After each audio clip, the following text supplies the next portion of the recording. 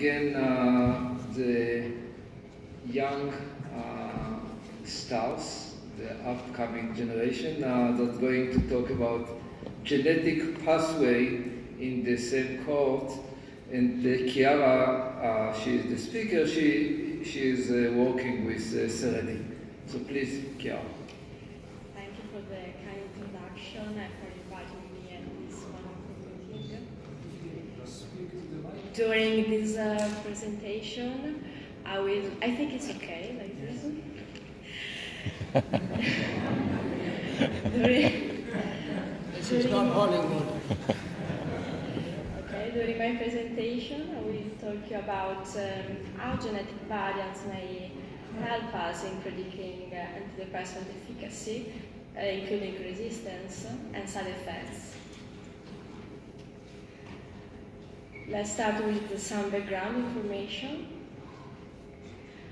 These are the prescription rates um, for 1,000 people uh, in different countries uh, of antidepressant drugs, um, including all the population over age of 12, so they will be higher considering only adults. Um, the, the country with the highest prescription rate is United States, where uh, around 11% of the population is taking an antidepressant drug.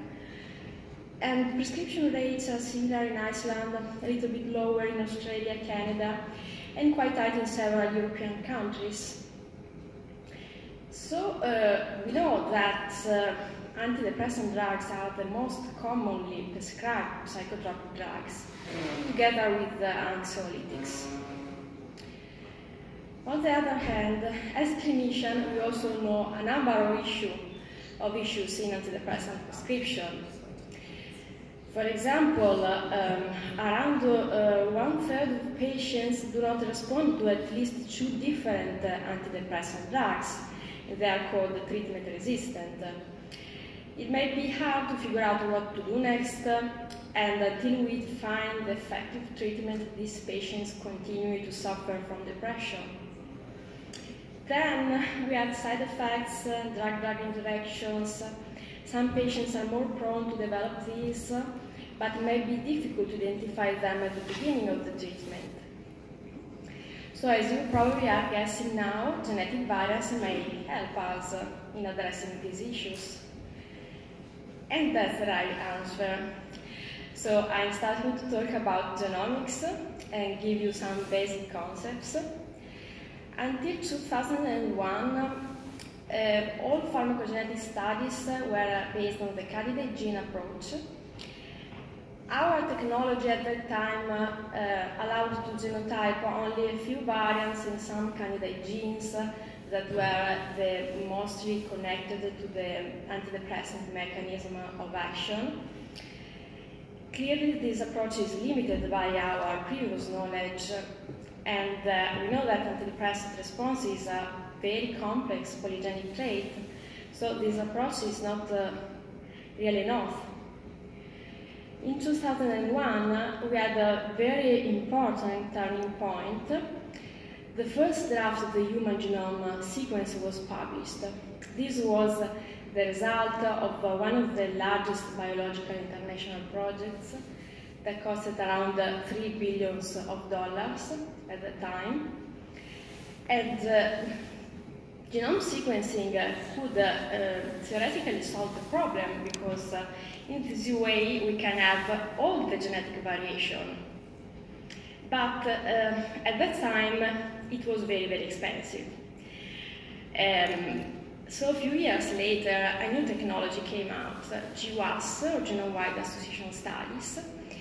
These are based on the microarray technology that allows to genotype hundreds of thousands or today even millions of different variants across the genome in a cost-effective manner. It's not like sequencing, but it provides a good proportion of uh, genetic variability. And um, mm, thanks to these studies, today we have uh, around uh, 200 drugs with pharmacogenomic indication in their labeling and around 45 human genetic tests cleared or approved by regulatory authorities. Another very relevant point to talk about is how much genetic variance contribute to antidepressant efficacy. It's around 40%. It's similar to the genetic contribution to major depressive disorder. It's not as high as for schizophrenia or bipolar disorder, but it's good enough to develop some valid clinical, uh, some biomarkers with clinical validity. In the next section, I will show you some candidate genes that already have clinical applications. As I said, there are around 200 drugs with a pharmacogenomic biomarker in their labeling. It's not surprising to see that oncology is the, the medicine field with the highest number of drugs, but psychiatry comes right after oncology with 31 drugs. And which are these drugs? Um, oh, sorry. Um, they include a number of different drugs, including antidepressants of different classes. According to regulatory agencies such as FDA, you should pay attention when you prescribe one of these drugs to a cytochrome 2D6 or cytochrome 2C19 poor metabolizers because of increased risk of side effects, toxicity, or drug-drug interactions. These recommendations are based on the results of uh, pharmacokinetic studies, studies that investigated the association between cytochrome and enzyme functionality and uh, the metabolism of the drug, for example, looking at drug plasma levels um, or uh, metabolites plasma levels. And according to these studies, uh, theoretical dose adjustments were calculated for a number of antidepressant drugs. Broadly, usually there are these four functional categories. On one hand of the functional spectrum, we have poor metabolizers, who uh, carry no active copy for a particular cytochrome gene, so they are expected to have a slower metabolism for drugs metabolized by that cytochrome, with higher plasma levels, higher risk of side effects, and so on, and should be treated with a reduced dose. On the other hand, we have ultra-rapid metabolizers. These subjects carry gene duplications or uh, functional variants with increased activity. So um, they have increased risk of treatment failure because they have a faster metabolism of the drug and the dose should be adjusted accordingly. Extensive metabolizers are the group with a normal level of metabolizing activity. They do not carry any functional variant. Intermediate metabolizers are between extensive and poor metabolizers. They carry only one active copy of the gene so uh, they should be treated with an intermediate dose of the drug. According to this, uh, the results of these studies and the FDA recommendations, there are also these uh, interesting clinical guidelines provided by the Clinical Pharmacogenetics Implementation Consortium. They provide suggestions uh, for a number of antidepressant drugs based on cytochrome 2D6 and cytochrome 2C19 functionality. Here I provide you some examples. For amitriptyline and nortriptyline, recommendations are based on cytochrome 2D6 functionality because it's cytochrome enzyme mainly involved in the metabolism of these two antidepressants. In uh, ultra-rapid and poor metabolizers, it's strongly recommended to avoid the prescription of uh, one of these two drugs because of higher, treatment, uh, of higher risk of treatment failure and uh, side effects, respectively. if you think uh, that one of these two antidepressants may be helpful for the patients, for the patient anyway, you should adjust the dose according to the metabolizing activity and use therapeutic drug monitoring to guide the dose adjustments. There are also similar recommendations for a number of uh, SSRI drugs. For example, for uh, citalopram and escitalopram, these are based on cytochrome 2C19 functional activity. In ultra-rapid and poor metabolizers, the recommendation is similar to the one I showed you before. but the level of recommendation is moderate and not strong. But uh, I think that it's a problem that all these uh, uh, clinical recommendations are based on the results of pharmacokinetic studies only. Uh, there are some studies that also investigated the association between cytochrome, cytochrome level of activity and the antidepressant efficacy and side effects. But these were uh, partly negative, and uh, one reason may be the sample sizes were often uh, too small to actually detect uh, an association. Um, so, uh, what I decided to do is a meta-analysis that the first investigating this topic of cytochrome 2C19 functionality in citalopram and citalopram efficacy side effects. I included four studies with a total sample size of over 2,500 subjects, all treated with one of these two antidepressants for 8 to 12 weeks.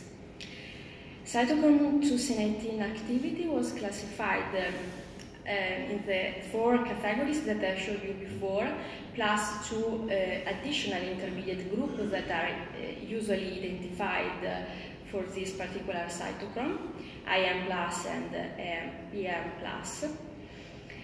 Uh, the classification was done according to the two most commonly functional polymorphism in this gene in Caucasians.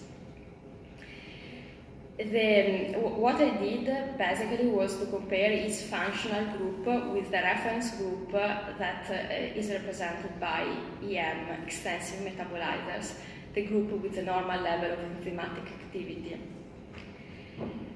For side effects, I found that poor metabolizers compared to extensive metabolizers had a higher risk of several categories of side effects, including gastrointestinal, neurological, and sexual side effects. And this was observed during the first month of treatment, and only for sexual side effects, also at week 6. But in any case, this difference was observed later, for example, at week 8 or 9 after baseline. So the, the difference was temporary. Also important, there was no difference in dropout risk, no difference in antidepressant dose among groups, and no difference in having a total side effect burden in the highest quartile of the distribution. For efficacy, um, poor metabolizer compared to extensive metabolizer showed higher symptom improvement and remission with very low heterogeneity among these studies. So I think that in conclusion, um, a dose adjustment of, of, these two antidepressants is not needed in poor metabolizers because they have better improvement and remission, yeah, at the cost of more frequent side effects uh, of some categories, but only at the beginning of the treatment, and this uh, um, doesn't seem to affect the risk of dropout. There are also a number of um, companies uh, that, based on these findings, commercialize uh, pharmacogenetic tests. They say they're able to predict antidepressant efficacy and side effects. And they all include uh, cytochrome 2D6 and cytochrome 2C19 and sometimes other pharmacokinetic genes. But uh, the most part of them also include variants in genes involved in pharmacodynamics for example, the serotonin transporter gene, serotonin receptors, and genotyping variants in these genes um, doesn't have uh, any support from clinical guidelines or any regulatory authority. So the, the clinical validity, uh, usefulness, or cost effectiveness is uh, really completely unclear. Uh, next section, I'll talk about GWAS and uh, analysis approaches based on GWAS. These are the results of a GWAS meta-analysis published a few years ago. Unfortunately, they didn't uh, identify any convincing genome-wide significant fi uh, finding at variant level. There are also some more recent studies um, large studies, large sample sizes, that didn't uh, show any, uh, any convincing result. These may be some of the reasons for these disappointing findings. The first, antidepressant response is highly polygenic. So what we can expect to find are small effects spread across the most part of the genome and no strong single hits. Then another point is uh, variants do not work alone, uh, but they interact among each other. So, for example, uh, the alteration in a, in a gene function may be due to the cumulative effects of a number of different variants, as well as alteration in the function of a pathway is expected to come from the cumulative effect of different variants. A possible um, answer to this is the use of pathway analysis. Um, an analysis approach that is able to, to address those issues. The starting point is from genome-wide data or synthesis data, so from uh, thousands, uh, hundreds of thousands of variants or millions of variants across the genome. The second step is annotation. Each of these variants uh, need to be annotated to the corresponding gene. After we have done that, uh, we can start to construct pathways. There are several pathway databases publicly available, and uh, according to them, you can um, establish which are the interactions between uh, among genes and in this way construct uh, sets of genes that are functionally related, for example, because they are part of the same chemical process or because they are involved in protein-protein interactions. Then um, there are different methods for estimate the significance of association for, um, for example, with antidepressant response and get a list of significant pathways.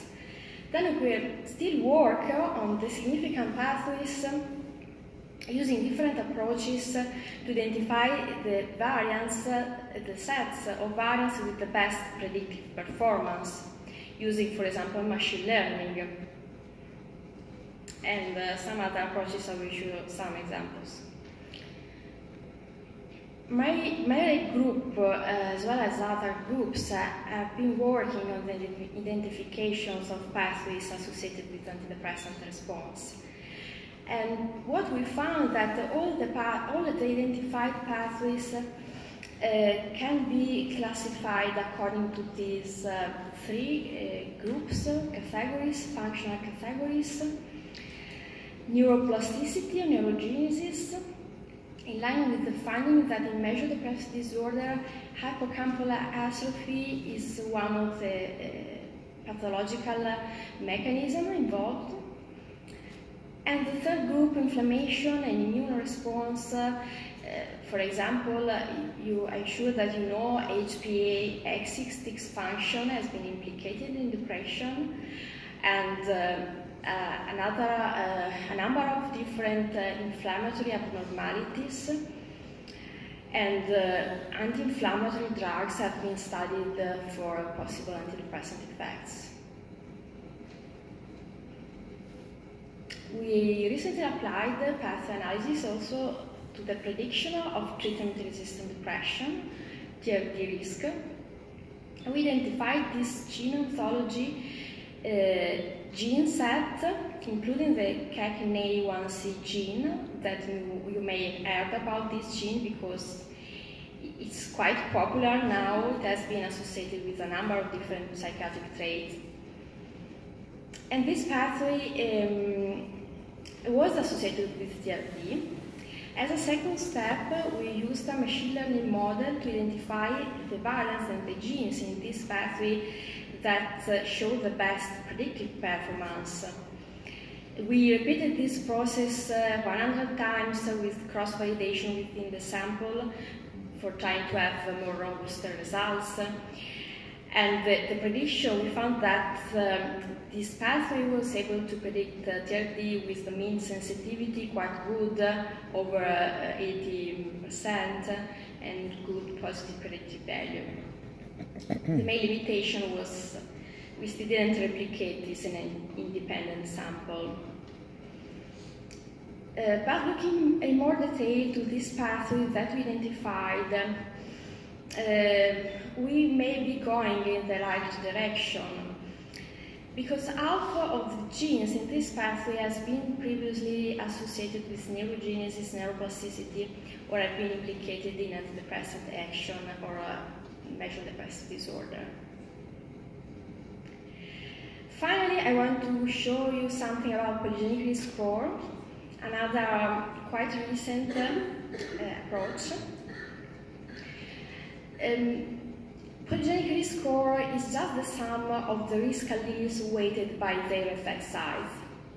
I think it's quite clear the concept if you look at the plot. Cases, the orange line, uh, are the ones who carry the highest number of risk alleles.